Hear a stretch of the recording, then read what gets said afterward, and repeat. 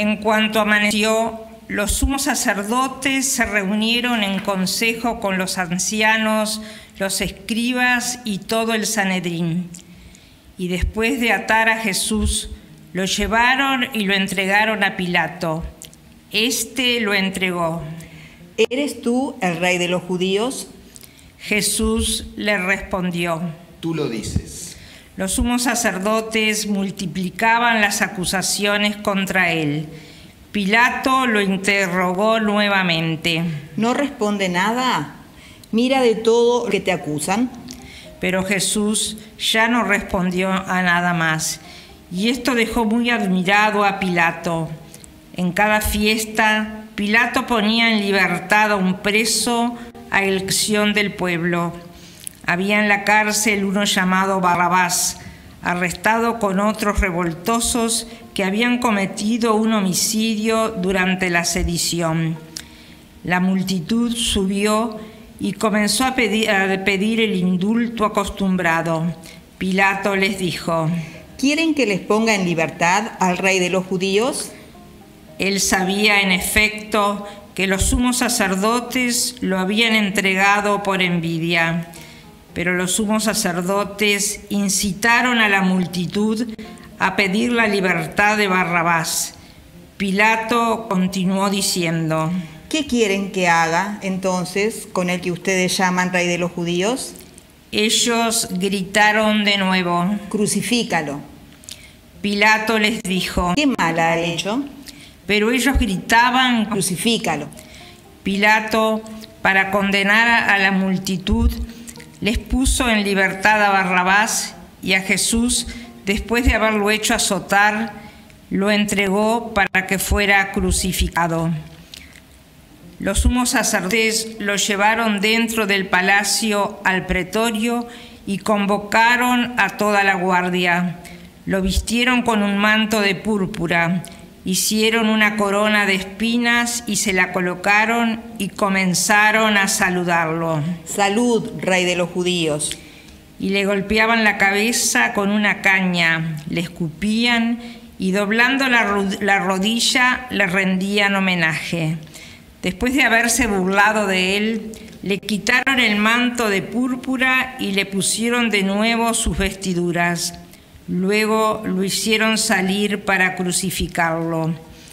Como pasaba por allí Simón de Sirene, padre de Alejandro y de Rufo, que regresaban del campo, lo obligaron a llevar la cruz de Jesús y condujeron a Jesús a un lugar llamado Gólgota, que significa lugar del cráneo. Le ofrecieron vino mezclado con mirra, pero él no lo tomó. Después lo crucificaron. Los soldados repartieron sus vestiduras, sorteándolas para ver qué le tocaba a cada uno. Ya mediaba la mañana cuando lo crucificaron. La inscripción que indicaba la causa de su condena decía, el rey de los judíos. Con él crucificaron a dos bandidos, uno a su derecha y el otro a su izquierda.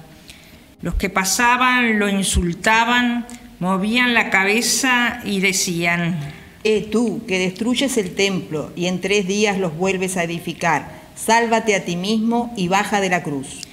De la misma manera, los sumos sacerdotes y los escribas se burlaban y decían entre sí, ¿Ha salvado a otros y no puede salvarse a sí mismo?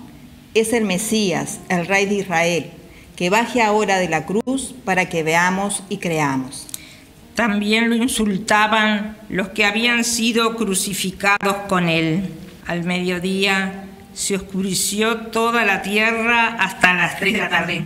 Y a esa hora Jesús exclamó en alta voz, Eloí, Eloí, lema sabactani. que significa Dios Dios mío, Dios mío, ¿por qué me has abandonado? Algunos de los que se encontraban allí al oírlo dijeron, Está llamando a Elías. uno corrió a mojar una esponja en vinagre y poniéndola en la punta de una caña le dio de beber diciendo, Va, Vamos a ver si Elías viene a bajarlo. Entonces Jesús, dando un gran grito, expiró.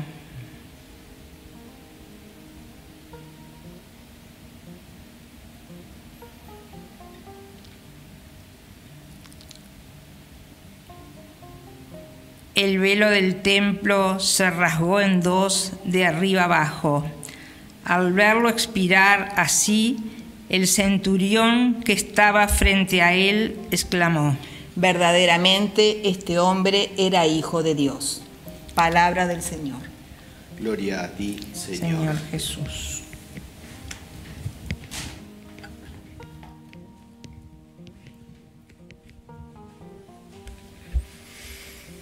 Estamos dando en este día tan especial comienzo a la Semana Santa, la Semana Mayor, la semana más importante de nuestra vida para los cristianos. Una semana que eh, hacemos memorial de los acontecimientos por los cuales Jesús ha venido al mundo y parte de su entrega por amor y por nuestra salvación. Hoy estamos eh, justamente comenzando esta semana en donde el pueblo recibe a Jesús como el Mesías, como el Rey, con una expectativa que incluso está muy lejos del corazón de Dios. Por eso tanto éxito en este eh, domingo de Ramos hace que a los pocos días después estén pidiendo que lo crucifiquen.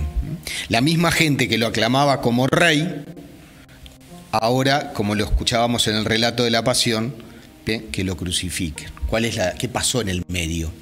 ¿Qué es lo que, lo que sucede?